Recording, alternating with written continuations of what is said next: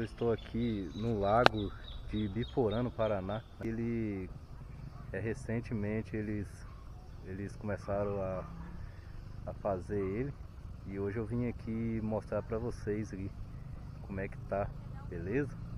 Deu uma chuvinha agora à tarde, é, o sol já já tá se pondo, já já se pôs, já eu queria pegar no horário de sol, mas o sol já foi, então vai sem sol mesmo.